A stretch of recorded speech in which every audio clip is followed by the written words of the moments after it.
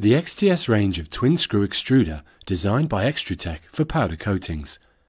All XTS twin screw extruders have a clamshell barrel, high free volume geometry, an AC water cooled motor, and a PIV gearbox protected by a mechanical torque limiting coupling. The low position of the side mounted top feeder allows for improved outputs of low bulk density premixes, reducing aeration of the premix. All XTS twin screw extruders have a clamshell barrel with a split stuffing box as standard. You can keep it closed or you can open it when you need to. The advanced design clamshell barrel has been refined by Xtrutech with independent opening of both the top and bottom halves, offering fast opening times.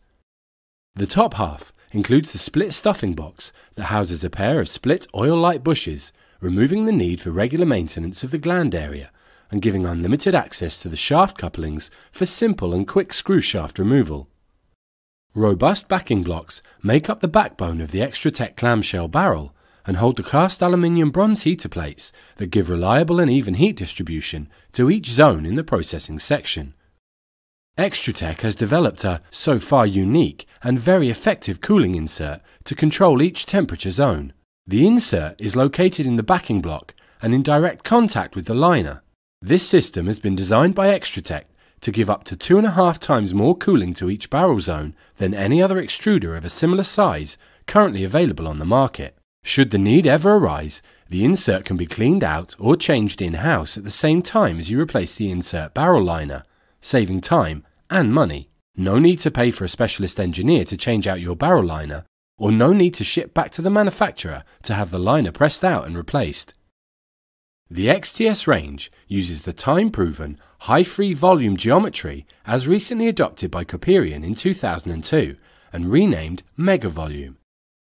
The high free volume coupled with the high torque drive and Xtrutech's refined feed port and new feed screw designs give our customers an advantage of higher outputs, higher quality mixing and single pass processing that apparently is an issue on some extruder designs.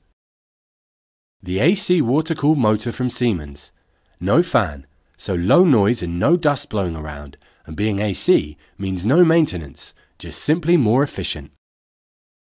The XTS internal water cooling system is a closed circuit system in stainless steel and distributes cooling water to the barrel processing unit, the feed port section, as well as to the high powered PIV gearbox oil cooling circuit and the main AC motor.